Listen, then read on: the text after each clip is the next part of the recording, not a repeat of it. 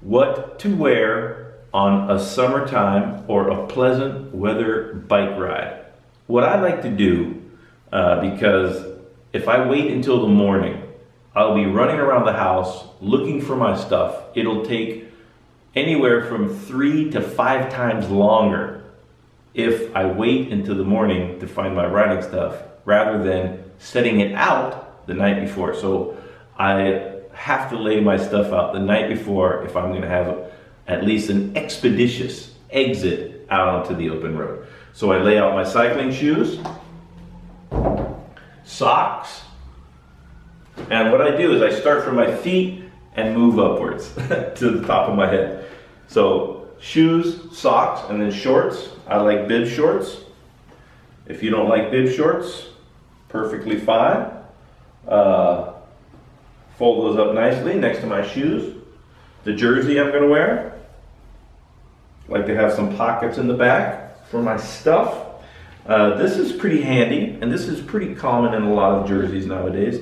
There's a waterproof pocket built into one of the pockets in the back. So for your cell phone or your wallet, uh, or cash money in that waterproof little pocket. It's very nice.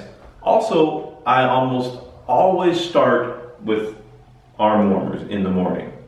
If it warms up, I can take them off. Um, if it uh, stays cool, uh, obviously leave them on. Sunglasses, next. and the helmet, last but not least.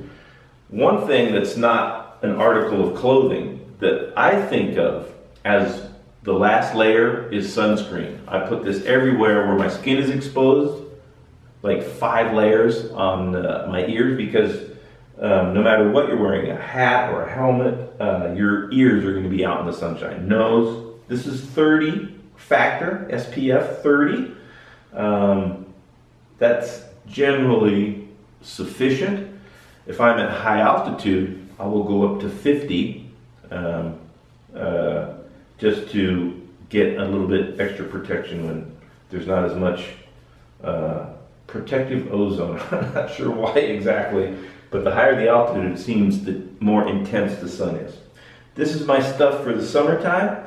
If when I wake up, the weather has changed dramatically, of course I'll have to improvise. That being the case, I probably will take a vest that I can unzip easily and stuff in one of the back pockets of my jersey.